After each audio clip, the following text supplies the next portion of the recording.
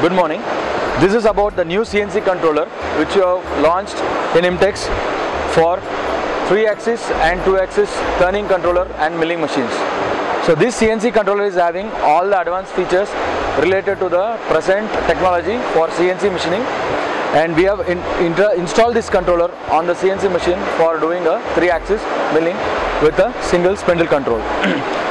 this CNC controller is having all the up-end features whatever required for a machine tool market to do its CNC machining for their components, part machining, batch production and also maintenance related general engineering applications.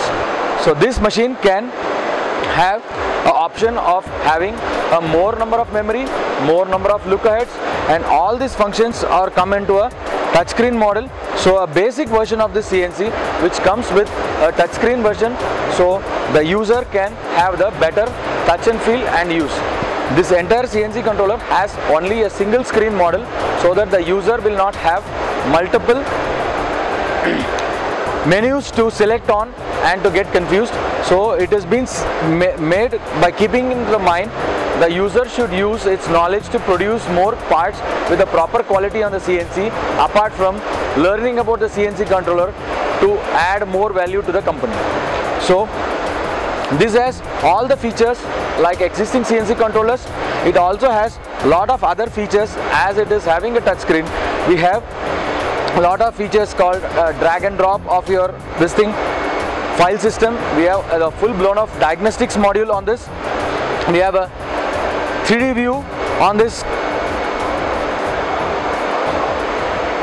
We have a 3d view on the CNC as a standard feature and this can be rotated and it can be seen in all the planes where the operator can understand the part it has all other features related to saving the logs, histories, alarms and not but not the least this also have the IoT compliance which can connect to the platform of BFW which is called as Iris which is introduced in this Imtex.